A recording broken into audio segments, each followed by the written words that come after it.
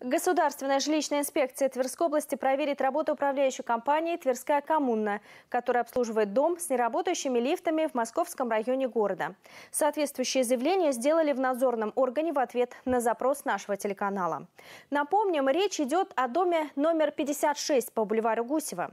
На прошлой неделе съемочная группа Тверского проспекта пообщалась с его жильцами, которые рассказали, что лифты в их многоэтажке периодически выходят из строя. По словам представителей обслуживающей организации, поломки происходят из-за низкого качества ремней кабины и противовеса.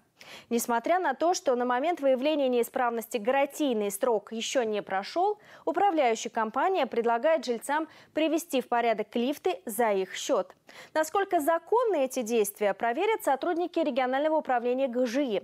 Как заявили в ведомстве, оценка работе УК будет дана уже на этой неделе.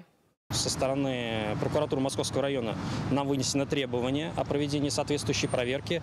А вот как раз по факту неработающих, э, неработающих лифтов в четвертом подъезде на квартирном доме по бульвару Гусева. Здесь следует отметить, что 9 октября в пятницу вечером а, лифты в этом подъезде, грузопассажирский лифт в этом подъезде уже пущен в эксплуатацию. Вот. Но проблема с пассажирскими лифтами остается, никуда не делась, поэтому это станет предметом проверки в отношении, проводимой нами в отношении управляющей компании.